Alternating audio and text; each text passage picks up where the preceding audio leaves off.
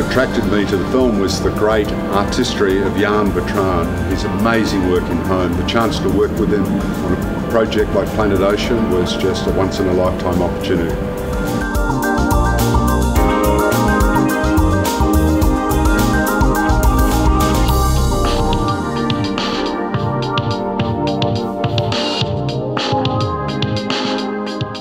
Le film que vous allez voir maintenant est un film pour nous très important.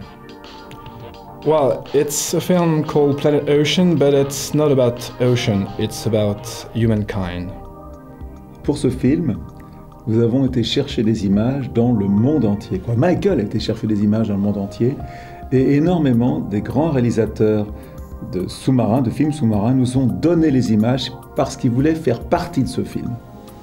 And uh, they want to be part of this film because, you know, it's not only a natural life story, it's how life is organized on this planet and where we are, we humankind. And that's why maybe we had this so incredible collaboration between all the people in this film.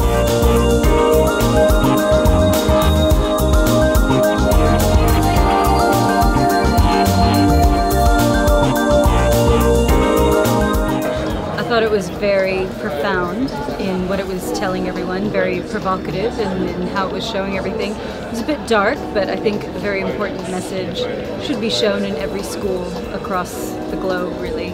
We're all sort of aware to a degree of how we impact the environment. I think it's often we're told rather in a way that um, sort of we tend to uh, hear it and sort of dismiss it. Uh, whereas something like this, you know, captivates uh, you, I think, the right way. Yeah, I brought my son with me. Very important to, to see this presentation.